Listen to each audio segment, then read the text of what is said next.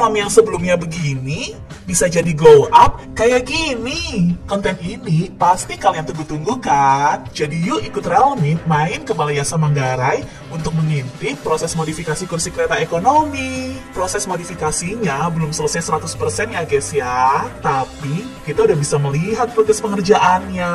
Perbedaan signifikan di kereta ekonomi modifikasi ini adalah jenis kursi yang sudah menggunakan tipe captain seat. Kapasitas kursinya juga sekarang jadi 72 seat dari sebelumnya 80 seat sehingga legroomnya jadi lebih luas. Kursi keretanya juga bisa di reclining atau diatur kemiringannya dan dapat diputar. Mau berhadapan bisa, mau searah laju kereta juga bisa. Kereta ekonomi modifikasi ini juga memiliki PIDS dan rak bagasi seperti kereta eksekutif, serta toilet yang memberikan nuansa mewah dengan kloset duduk dan hand dryer. Proses modifikasi empat kereta ini dilakukan sepenuhnya di Balai Yasa Manggarai dan memakan waktu satu setengah bulan. Selain empat kereta ini, pada tahap awal akan ada delapan kereta ekonomi lain menyusun untuk dimodifikasi.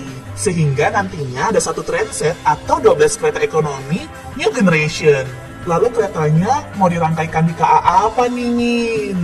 Sabar dulu, Besti. Karena saat ini KAI masih melakukan beberapa kajian manajemen. Namun, semoga nggak lama lagi kalian udah bisa merasakan experience baru naik kereta ekonomi yang lebih nyaman ya.